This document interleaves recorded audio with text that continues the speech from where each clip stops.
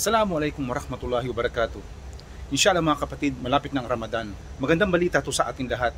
Dahil ibig sabihin, pag inabot natin ang Ramadan, inshallah, sinagot ng Allah subhanahu wa ta'ala ang dua natin no isang taon na tayo ay umabot pa sa isa pang Ramadan.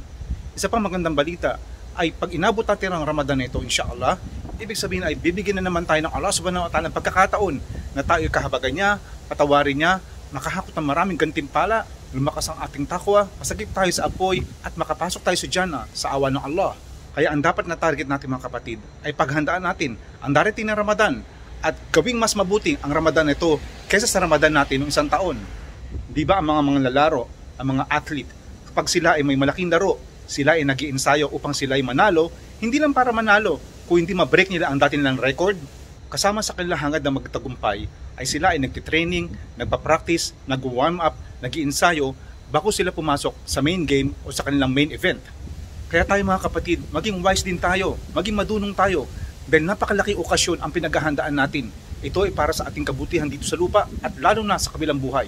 Kaya kung gusto natin magtagumpay inshallah sa darating na Ramadan, ngayon pa lang mga kapatid, magsimula na tayo mag-warm up, mag-ensayo, para pagdating na Ramadan, umahataw tayo sa maraming gantimpala ng Allah subhanahu wa ta'ala, sa maraming gawain ay kanulugod niya at makakaiwas tayo sa maraming kasamahan o mga kamalian na makakabawas ng ating gantimpala, inshallah.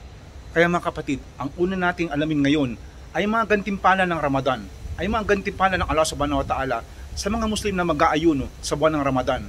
Inshallah, marami po tayo mga kapatid, mga ustad, mga sheikh na nagbibigay ng maraming lecture tungkol sa mga gantimpala, mga biyaya ng Ramadan. Dahil kung tayo po ay may sapat na kaalaman kung bakit tayo nag-aayuno sa Ramadan o bakit tayo gumagawa ng maraming ibada o makabutihan sa Ramadan at alam natin ang mga biyaya nito, subhanallah mga kapatid, mag enjoy tayo sa pagsamba sa Allah subhanahu wa ta'ala sa buwan na ito.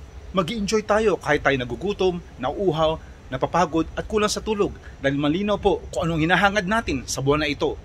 Isa pa mga kapatid, napaka-importante na alamin natin ang tamang pag-aayuno mula sa Quran at Sunnah upang magawa natin ito ng tama at makuha natin ang malaking gantimpala ng Allah subhanahu wa ta'ala. Ngayon ito naman mga kapatid, ang mga aksyon na rekomendado ko upang maging maganda ang simula ng ating Ramadan ngayon pa lang inshallah mga kapatid, mag-fasting na tayo ng Sunnah fasting.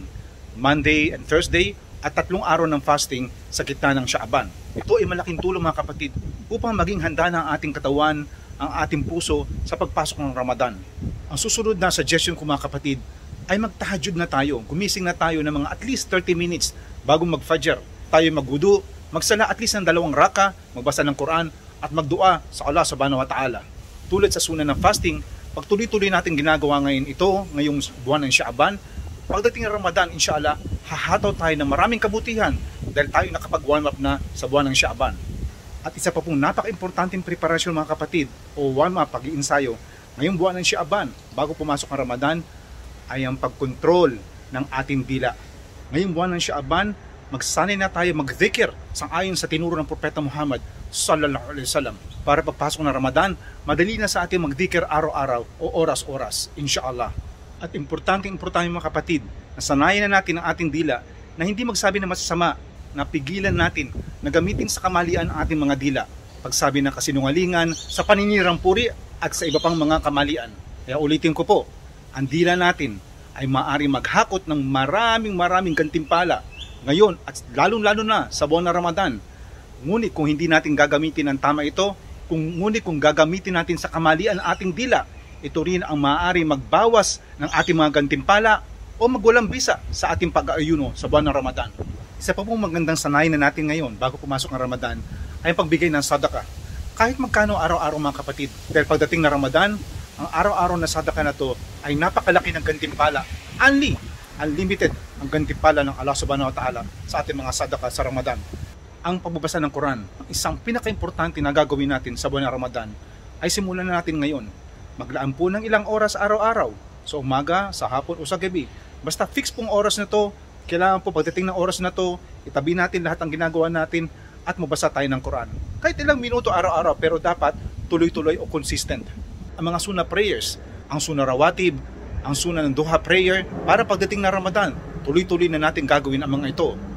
Ngayong paalala mga kapatid, wag na wag niyong bibitawan ang mga obligatory prayers, ang limang obligatoryong sala ngayon at sa labas sa Ramadan. Sayang lang ang mga gawain nyo o pag-aayunin nyo sa Ramadan kung hindi kayo nagsasala ng limang obligatoryong sala. So, itong sunan na to ay importante, maganda, pampadagdag ng mga kabutihan, pampadagdag ng mga gantimpala, ngunit kailangan, bago nyo gawin ang mga sunan na ito, importante mga kapatid, importanteng importante na, na itataguyod nyo na ang limang obligatoryong sala araw-araw. Ang huling payo ko mga kapatid, bago tayo pumasok na Ramadan, ay patawarin natin ang sino man na nakit sa atin. Paano tayo papasok na Ramadan kung meron tayong sama ng loob sa isang tao, sa isang Muslim?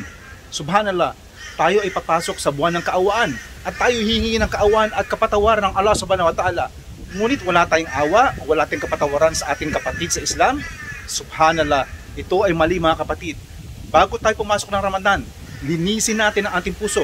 Magtauba tayo, lagi tayo nag-istighfar at patawarin natin ang mga nakasakit sa ating mga kapatid. Subhanallah, nawa ay gabayan tayo ng Allah subhanahu wa ta'ala na makapaghanda ng maayos bago pumasok ang Ramadan. Amin. At lagi po nating idua ang Allahumma balik na Ramadan. O Allah, paabutin mo kami sa buwan ng Ramadan. Amin. Assalamualaikum warahmatullahi wabarakatuh.